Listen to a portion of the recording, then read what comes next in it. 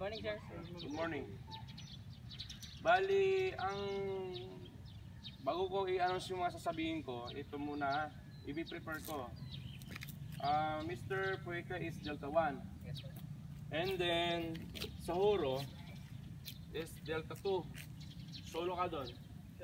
Okay? Mrs. Gapol, Delta 1. Sama mo si Pueka. Manalo, dito ka sa detachment, okay? And Fernando, hmm, kasama kita ha, wag kang tutulog-tulog ha. Na. Okay. Huwag mo na ulitin yan ha. Alam mo ba't kita nilagay doon kahapon?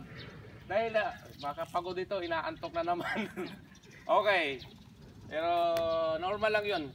Bilang isang gwardiya, naintindihan ko dahil pinagdaanan ko yan. Ngayon, ulitin ko, ko kooperasyon lang hinihiling ko sa inyo.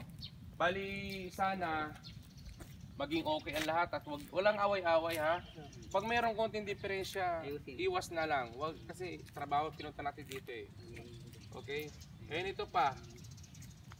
Hindi ko alam kung good news ito para sa akin dahil okay na ako dito sa inyo eh. Hindi ko kayo kayang iwanan, honestly. Kinukuha ko kahapon ng aking instructor dati bilang isang detachment commander sa loob ng Clark. Tinanggihan ko. I'm, I said, I will resource sir because I have already job. O dahil dati, gusto ko talaga pumasok sa kanila kasi magandang opportunity. Biro mo, biro mo 20,000 per month plus allowance 5,000, saan ka pa nun?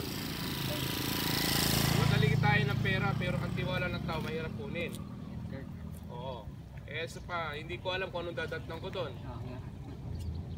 Ako kaya ko naman, ah, hindi naman sa pagkaano, I am a computer illiterate. Marunong ako sa computer din. Pero ganun pa man, sinasabi ko, kay ma'am, ano lang, work lang, obserbaran yung ginagawa ko, maaaring ipasa ko na to sa inyo eh. Dali lang, maglalag ko kayo, ganito, yung information yung tao.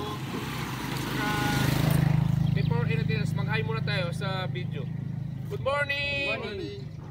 Oh, ganun pa man. Um, Very glad na naging katrabaho ko kayo.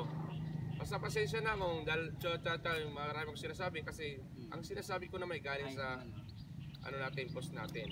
At ngayon, nakikita niyo yung video natin. Sinisend ko din sa kanya para meron tayong prueba.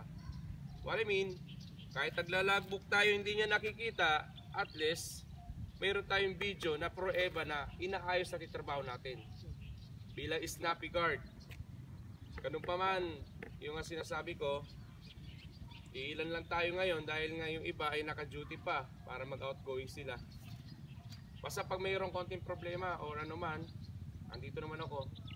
Halimbawa, sorry nga pala nung time na nagaya yung gasolina, wala wala talaga ako noon. Pasensya ka na. Pero pag makasuldo tayo, makaka-gaan din. About naman sa salary nyo, I will make sure hindi kayo dihado. Hindi ko lang masabi sa inyo dahil ako alam ko na. Alam ko na. Hindi ko lang masabi sa inyo, baka sabihin ng ating boss, pinangungunahan ko siya.